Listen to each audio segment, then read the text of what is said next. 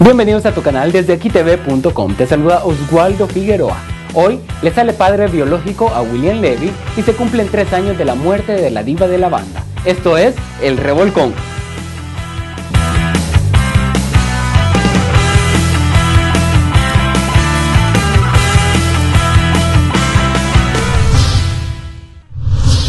Este pasado martes, un juez de Los Ángeles aprobó el acuerdo de divorcio entre el actor Antonio Banderas y Melanie.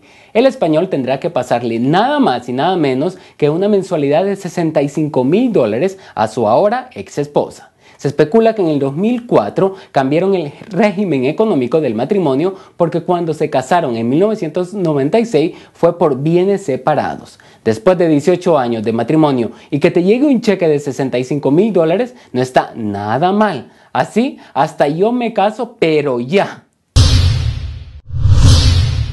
Hablando de matrimonio, resulta que la actriz Sherlyn está pasando por una crisis matrimonial con su aún esposo Gerardo Islas, pero al parecer no está tan estresada por las declaraciones que hizo en una entrevista, al decir que los procesos personales no los puede definir de una semana para otra.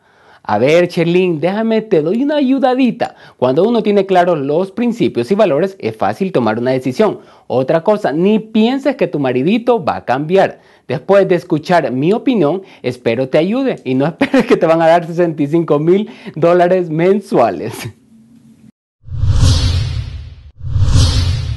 Los hijos del recordado cantautor mexicano Joan Sebastián han tratado de seguir sus pasos, pero en el intento fallan. Ahora la hija del cantante, Sarelea Figueroa, quiere tomar las riendas del legado musical de su padre. La joven se encuentra preparando con su disquera lo que será su lanzamiento y quiere que su presentación sea todo un éxito para convertirse en la nueva reina del jaripeo.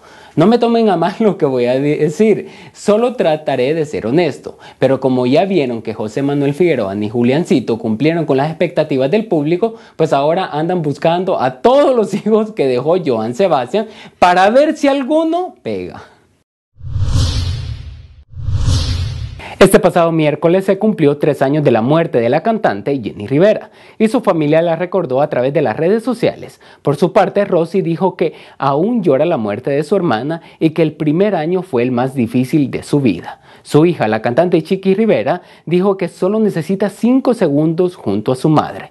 Mientras, los fans se cuestionaban si habría una celebración pública en conmemoración al aniversario luctuoso. Rosy respondió que en este año respetará la petición de los hijos menores de la diva de la banda y es por eso decidieron no hacer celebración.